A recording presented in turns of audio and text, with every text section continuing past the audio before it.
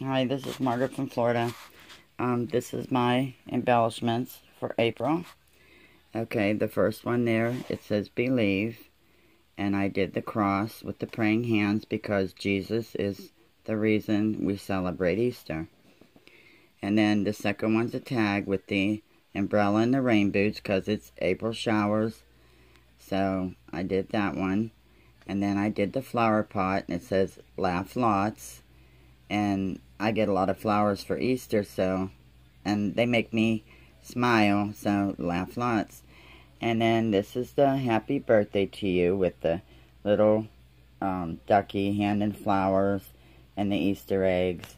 And then there's my mix, and then I also put in some uh, wrap, bling wrap. And then here's another umbrella in the boots, and it says be happy.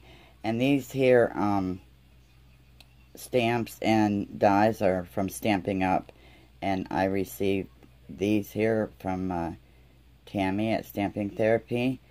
Uh, she had um, sent them to me. So that's how I got them. And uh, this here stamp also from Tammy.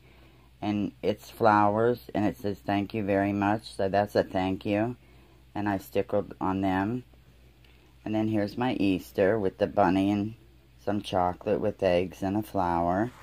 And then here's another, He has risen, hope in the church. So, I hope you like my embellishments for April. Until next